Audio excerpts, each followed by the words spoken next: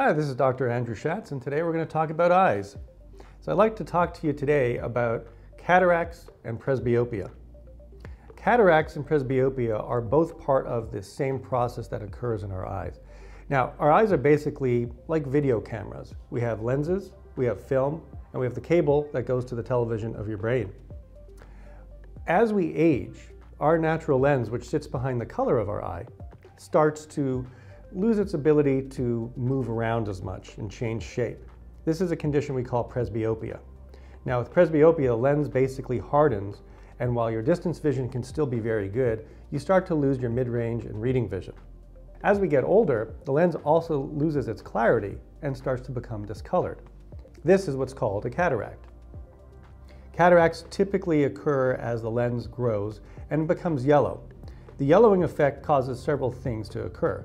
The first thing that happens is that our color perception starts to become a little bit off. So colors may not seem as vibrant as they used to be. The other thing that can occur, which is typically what most people experience first, is that when they're driving, especially at night, headlights and streetlights tend to start having glares and halo effects around them. The treatment for cataracts and presbyopia is actually the same, and it's just a difference between when you do one versus the other. Typical cataract surgery involves replacing this natural lens with an implant. And that implant is a prescription lens that goes back in the exact same spot that your natural lens was in in the first place. Cataract surgery is incredibly successful. It allows us to be able to refocus our vision for the rest of our lives.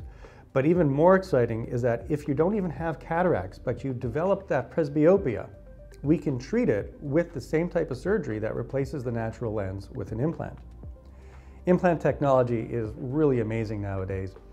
And in fact, not only can we refocus the eyes to allow your driving vision to be better, but with the newer technologies like multifocal lenses, we could improve your mid-range vision for things like computers and your reading vision for your cell phone and for books. And this is a permanent change. So once this new implant is in your eye, it will forever give you that range of vision that it was intended to give you.